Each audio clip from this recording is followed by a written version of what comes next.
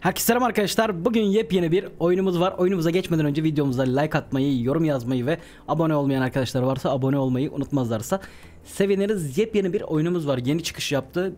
Bakery Simulator. E, fırın simülatörü arkadaşlar. Fırıncı simulator. E, bunun gibi bir tane oyun oynamıştık. Onun ismi de e, Bakery Shop Simulator'dı. Yani fırın dükkanı. Yani dükkan işletiyordunuz onda. Ee, arkada bir çalışan vardı o hazırlıyordu her şeyi. Siz sadece satış işlerini yapıyordunuz. Alım satım işlerini yapıyordunuz. Yani bunda anladığım kadarıyla oynamadım. Sadece girdim menülerine baktım. Türkçe dil seçeneği varmış. Çok beğendim o yüzden. Ee, bunda anladığım kadarıyla yani videosunu falan da izlemedim. Anladığım kadarıyla her şeyi biz yapıyoruz. Yani direkt ekmeği biz yapacağız. Yani fırıncı biz olacağız. Öyle söyleyeyim. Şimdi şöyle bir oyunun menüsüne bir göz atalım. Yeni oluştur bölümü var. Hiç oynamadım gördüğünüz gibi. Şöyle seçenekler bölümü var. Tabi tam Türkçe değil gördüğüm kadarıyla. Bazı yerlere İngilizce olarak kalmış. Ee, dil seçenekleri burada. Bayağı bir dil seçeneği var. Allah'tan Türkçe'de eklemişler. En azından hani idare ederiz. Her şey tam Türkçe olmasa bile. Video bölümünde çözünürlük vesaire buradan her şeyi e, ayarlayabiliyorsunuz. Her şey ultra grafikte gelmiş anladığım kadarıyla. Evet, her şey en yüksekte gelmiş. Audio bölümü. Şuradan müziği falan kısmıştım ben az önce oyuna girdiğim zaman. Ana sesli artık duruma göre değerlendiririz yani oyun içerisinde. Ne olur ne gider bil- bilmiyorum. Şimdi e, kontroller bölümünde de tuş seçenekleri falan burada var. Herhalde oyun bize anlatır bazı şeyleri öğreniriz gibime geliyor. Öğrenemezsek de buradan tuşları kontrol ederiz. Şimdi yeni oyun diyelim profil adı. Şöyle Hilmi Sahin diyelim. Onayla diyelim abi. Ee, yeni oyun öğretici seçenekler. Ha öğretici seçeneklerde de tamam ayarlar. Öğretici modu varmış. Öğretici modunda başlayacağız. Yeni oyuna direkt giriş yaptırmıyor. Öğretici modunu önce gösterecek bize. Yapalım hep beraber görmüş olalım. Fırınınıza hoş geldiniz. En büyük hayaliniz gerçek oldu. Kendi fırınınızı açtınız ve şehri taze hamur işleriyle doldurmaya hazırsınız. Ancak bu daha bir başlangıç. Önünüzde daha çok zor işler var. İtibar kazanın, deneyim kazanın ve fırıncılık dünyasında başarılı olun. Bir sürü sorumluluk var. Ama merak etmeyin. Başaracaksınız. Sonuçta tüm hayal ettiğiniz bu. İlk siparişiniz sizi bekliyor. Bu arada oyun Steam'de e, şu anda indirimde 22 lira fiyatı var. İndirim bittiği zaman da 26 lira olacak. Video açıklamasına ben Steam linkini koyarım. Oradan sizler de gidip bakabilirsiniz. Şimdi fırın içinde hareket etmek için WASD, çömelmek için CTRL butonlarını kullanın. Kamerayı kontrol etmek için ise fareyi kullanın diyor. Tamam. WASD, CTRL. Evet şimdi sipariş tahtası. 3 kahvaltı çöreği diyor. Teslimatı da anladığım kadarıyla biz yapacağız. Harita falan var çünkü. Devam etmek için R tuşuna bas. Sol tarafta mağazaların listesi ile mevcut siparişler bulunuyor. Şimdi mevcut olan bir sipariş var. Ama daha sonra oyunda daha uzun bir listeden birden fazla sipariş seçebileceksiniz diyor. R'den devam ediyoruz. Sağ tarafta işaretlenmiş mağazaların olduğu bir harita bulacaksın. Onu esas olarak siparişlerin konumlarını kontrol edebilir ve şehrin hangi bölgesine siparişleri teslim edeceğine karar verebilirsin diyor. Şimdi mevcut sipariş seç ve onaylaya bas. Onaylaya bastık. Sipariş seçtikten sonra sipariş panosunda görünecektir. Onu almak için bir panoda tamam butonuna bas diyor. Bastık. Buğday unu, su, süt, maya, şeker. 25-30 saniye karıştır. Form 200 derece 25-40 saniye. Tarifi sakla T tuşuymuş. Ne diyor? Ama daha ilerlemeden önce sana tarif kitabını öğretmeme izin ver. Radyal menüyü açmak için tab butonunu tab butonuna bas. He. Tamam. Birden fazla alet ve kategori arasında geçiş yapabileceğin radyal menü. Tamam. Şimdi tarif kitabını seç diyor. Tarif kitabı hangisiymiş? Buymuş. İşte bildiğiniz tüm tarifler. Burada şimdilik o kadar da çok değil ama merak etme her yeni seviyede yenilerini öğreneceksin. Yandaki yer imleri gezinmeyi kolaylaştırır. Her tarif sayfası sipariş hazırlamak için gerekli adımların yanı sıra ısı derecesi, karıştırma süresi, malzemeler ve pişirme süresi hakkında bilgiler içerir. Bu neymiş? Okları kullanarak pişe, pişireceğin ürün sayısını seçebilirsin. Tarif buna göre ayarlanacaktır. Tamam. Sonra ha, devam etmek için R. Tamam. Tarif kitabını kapatmak için ESC'ye bas. Kontrol listesi ekranın sağ tarafında görünür. Tarifi takip etmene ve mükemmel bir şekilde tamamlamana yardımcı olur diyor. Tamam. Biraz pişirmeye hazır mısın? Evet mi? İyi. O zaman onu almak için kasedeki evet butonuna bas. Tamam. Bu kase ortalama küçük ama merak etme oyun esnasında daha büyük. Daha profesyonel kasenin kilitlerini açabileceksin. Aynı zamanda onların kapasitelerini de geliştirebileceksin. Şimdi gerekli malzemeleri toplama zamanı malzeme rafına git. Gittik. Ekranın sol alt köşesinde ölçekleri bulabilirsin. Şimdilik sadece 1 gram milim ölçeğe ihtiyacım var. Ölçek. Ha tamam. Şimdi e, ne istiyormuş bizden? Un dediği şu sanırım. Ölçeği her kullanımda veya butonuna tıklayarak malzemeyi alabilirsin. Onu basılı tuttuğunda ölçek kendini teker teker dolduracaktır diyor. Tamam.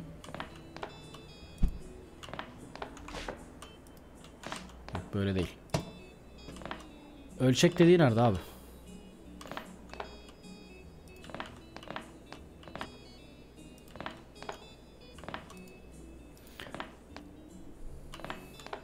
Ha, önce bu mu?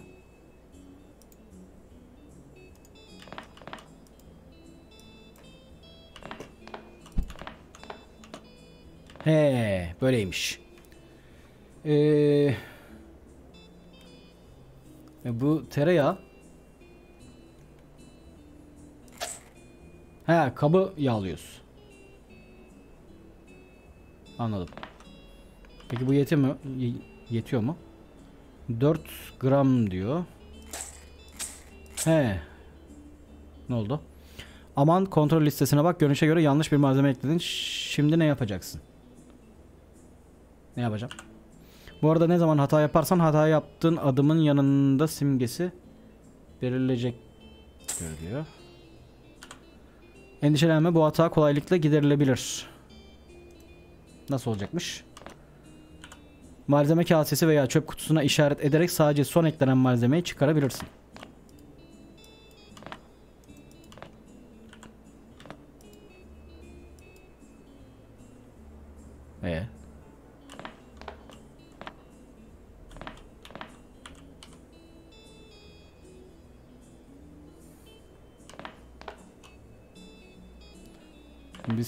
Bunu koyduk.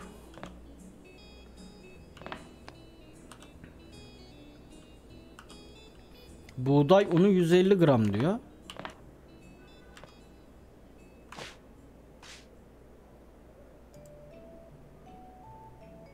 Ha, sağ klikte geri alıyoruz bunları. Ha tamam yaptık. Harika ama kasede bulunan malzemelerden birden fazlası yanlış ise ne yapmak gerek? Onları çöp kutusunda kullanarak çöpe atabilirsin. Sonra nasıl çalışıyor? Bu zamana kadar vurgulan malzemeyi tekrar kaseye topla.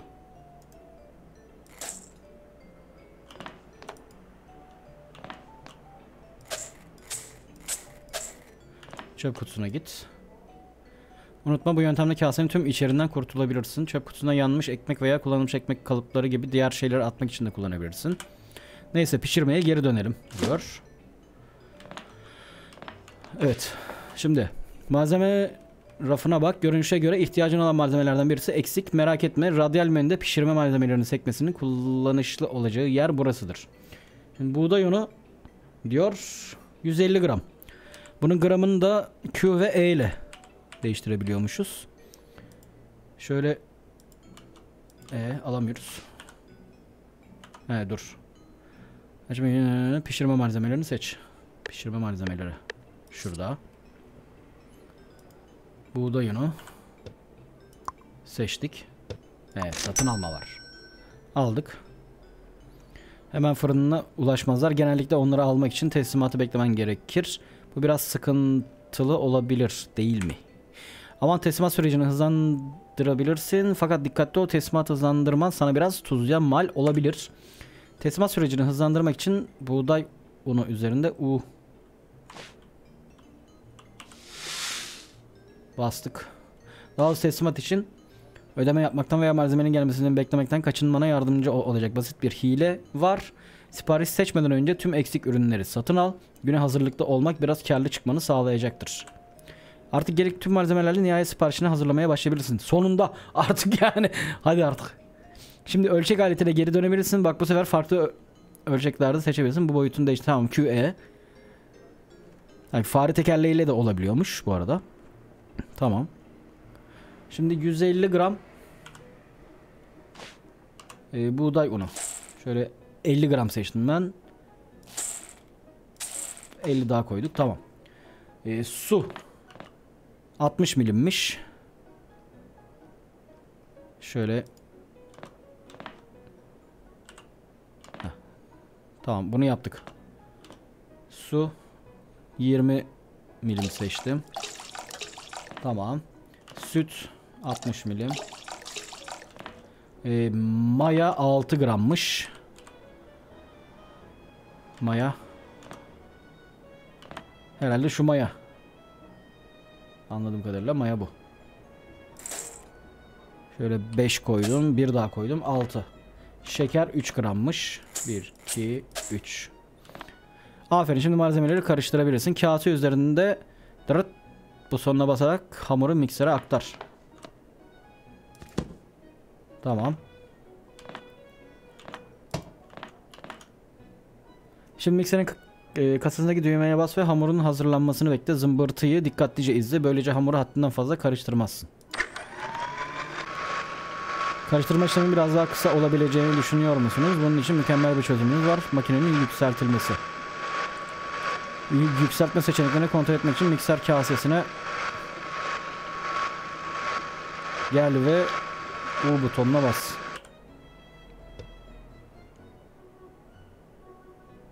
Bu yükseltme seçeneğine göre satın almak için satın al butonuna basman yet- yeterli. Mikser yükselmeni satın aldıktan sonra turbo modu görünecektir. Tamam da bizim karıştırma işlemi zaten bitmek üzere şu an. Hamuru kaseye geri almak için mikser üzerinde tırt butonuna bas. Tamam. Hamuru şekillendirme tahtasına koy. Şekillendirme tahtası burasıymış. Tamam. Çörekler çıplak elle şekillendirildi. Kaseyi fırının ortasındaki masanın üzerine yerleştirebilirsin diyor. Tamam. Ardından hamur daha küçük parçalara bölünmeli ve şekillendirilmelidir. Abi çok detaylı bu ne? Şekillendirme tahtasında tırt butonuna bas.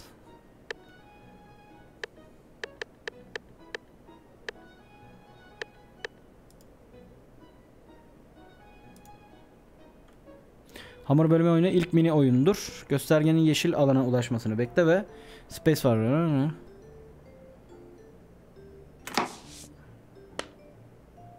Yeşilde basacakmışız böyle. Hamur şekillendirmeyi ikinci mini oyundur.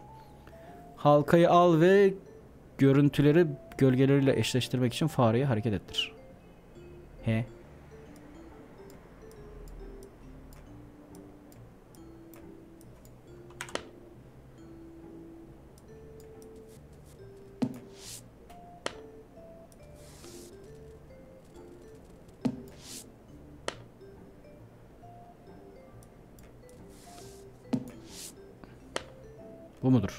Fena değil. Şimdi tağda şekillendirilmiş çörekleri tepsiye koy.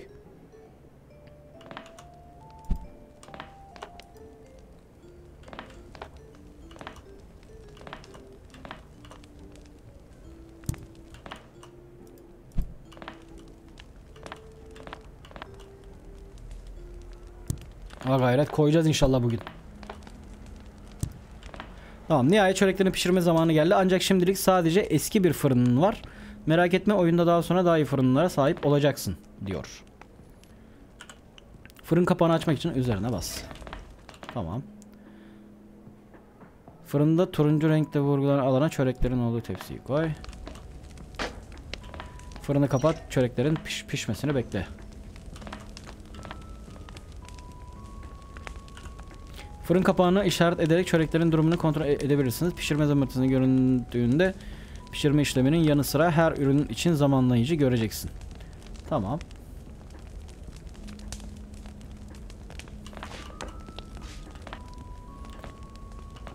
Evet, %95 90. Teslimat kasasını kapının yanında bulabilirsin.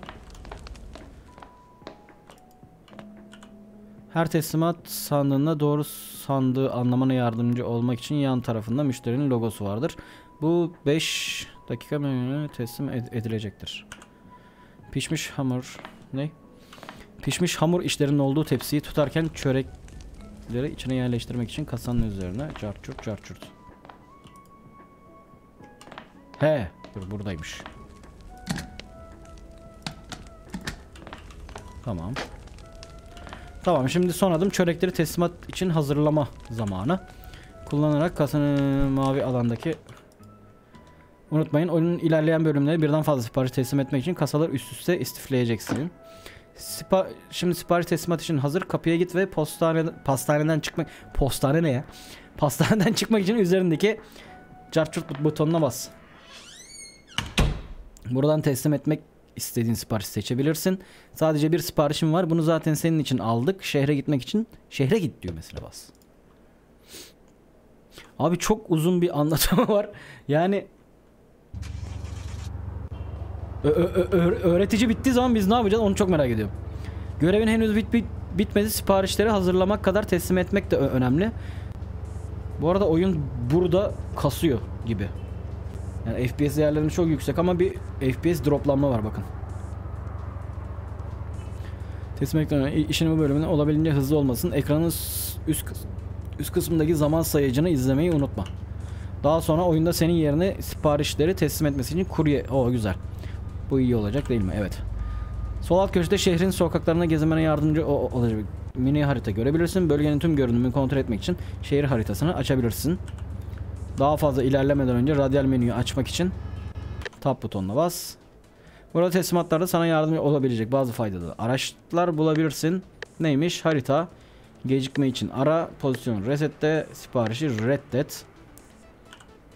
Radyal menüyü kapatmak için ESC tuşuna bas. Evet teslimat için gidebiliriz. Evet. Gördüğünüz gibi bir FPS droplanma var. Işıklarda bekleme olayımız inşallah yoktur saçma sapan bir şekilde öyle bir sistem yapmamışlardır. Ama bakın nasıl donuyor. Tak tak geri atıyor sürekli. Bunu yapamamışlar. Belki sonradan güncellemeyle çözülür. Oyun daha çok yeni çıktı.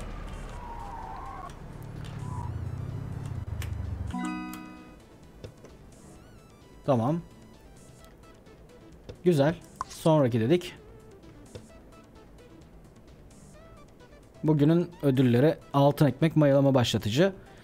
E, artı 300 kase kapasitesi. Fırına geri dön.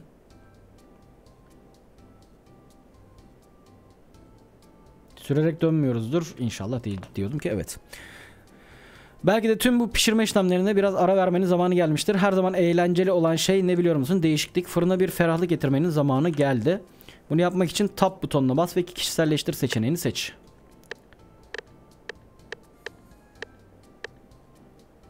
Özelleştirme. Evet. Ana masayı işaretle ve cart butonuna bas. Sıradan masalar.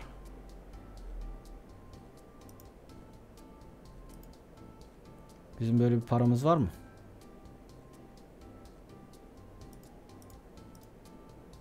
Şimdi bu bizim zaten malum masa. Herhalde şunu alacağız. Tebrikler iyi siparişini tamamladım. Bugünkü öğrendiklerini unutma. Çünkü fırıncı olarak ileriki tecrübelerinde sana faydalı olacak. İyi şanslar. Yeni oyun. Yeni oyun.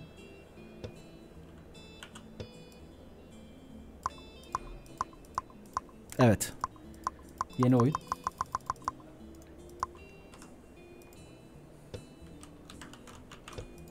Evet burada kaldık. Yeni oyuna tık tıklıyoruz ama herhangi bir işlem yapmıyor. ESC de çalışmıyor. evet abi ne yapacağız şimdi?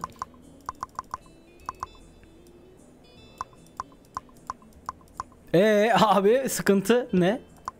Sorunumuz ne? Basılı tutuyorum. O da işe yaramıyor.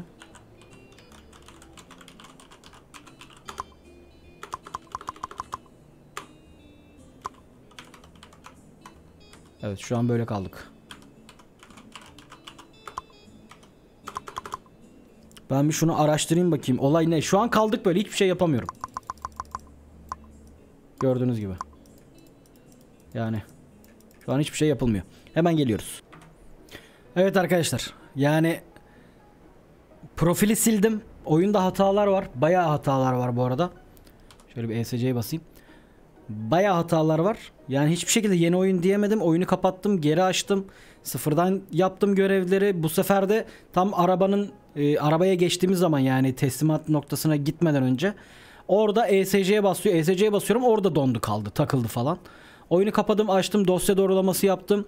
E, yeni profil açayım dedim. Profil, mevcut profili sil dedim. Yeni profil aç dedim. Aynı ismi girdim. Me- zaten öyle profil var diyor. Bakıyorum öyle profil yok aslında. Yeni bir profil açtım. İsmi Hilmi Sahin değil de Uncu Baba yaptım bu sefer abi. İsmini değiştirdim. Yeniden öğreticiye girdim. Bu sefer yeni oyun diyebildim. Yani baya baya hatalar var oyunda. Bilginiz olsun. Şimdi yeni oyun diyebildik. Şöyle bir açalım. Siparişleri kontrol etmek ve yeni bir güne başlamak ister misiniz? Tamam. Bronz ekmek. Tamam. Çavdar unu 500 gram falan fişman. Şimdi dur. Neydi? Yemek tarifi kitabı. Burada yazıyordu bunlar. Pişirme malzemeleri. Bunlar bizde var mı? Peki. Anladığım kadarıyla var. Şimdi. Çavdar unu dediği bu mu? Herhalde budur. 500 gram diyor. Şuradan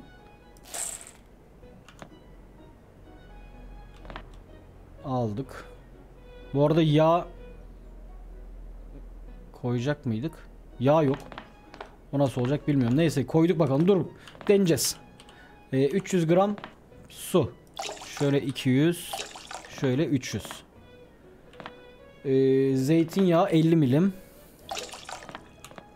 E, maya 5 gram. Şuradan 5 grama gelelim. Tamam. E, tuz 5 gram. Şeker 2 gram. Tamam. 30-50 saniye arası karıştıracakmışız.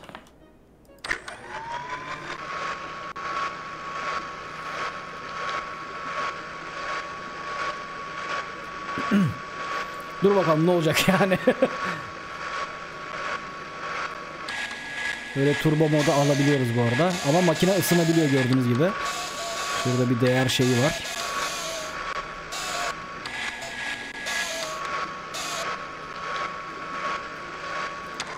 Evet. Buradan geri aldık. Buraya götürüyorduk. Koyduk şöyle abi. Şimdi Yuvarlak seni kurbasan çörek ekmek herhalde yuvarlak ekmekler dediğine göre bu. Şöyle şekil vereceğiz. tamam mıdır? Peki kaç tane yapacağız biz? Abi. Hakikaten kaç tane yapacağız? Dur bakayım. Niye açamıyoruz abi? Niye açamıyoruz? Bronz ekmek. Bir tane mi yapacağız yani? Bu mudur? Herhalde bir tane yapacağız.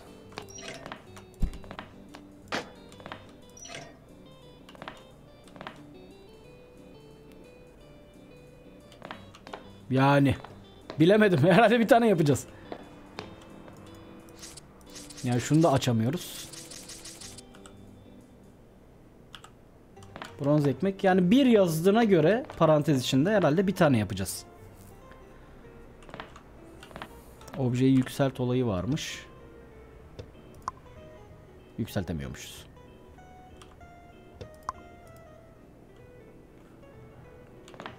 Evet bekliyoruz. Şimdi süremiz var bu arada. O süre içerisinde herhalde yapıp hazırlayıp götüreceğiz. Arttırma arttırma var ama 200 herhalde şey. Şu an 200'deyiz. 200'e yakın en azından.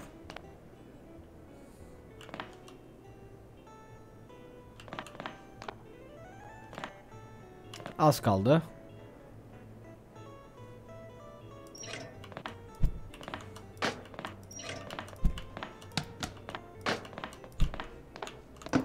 Şuraya koyup teslimata gideceğiz. Yani birebir yazdığına göre bir tane istiyor demek ki. Yani bir tane ekmek için yola çıkıyoruz yani. Böyle bir olay var. Biraz uzakta galiba anladığım kadarıyla. Ve haritada yol yapım çalışması olan yerler var gördüğüm kadarıyla da. O yüzden şuradan sağdan gidip oraya gideceğiz.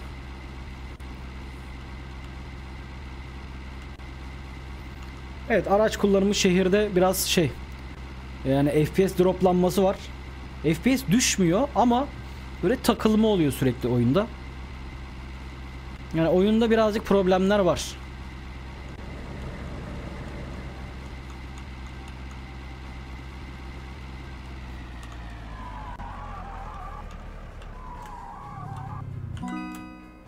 Evet gecikmemiz yok. Hayırlı uğurlu olsun. Fırına geri dön dedik.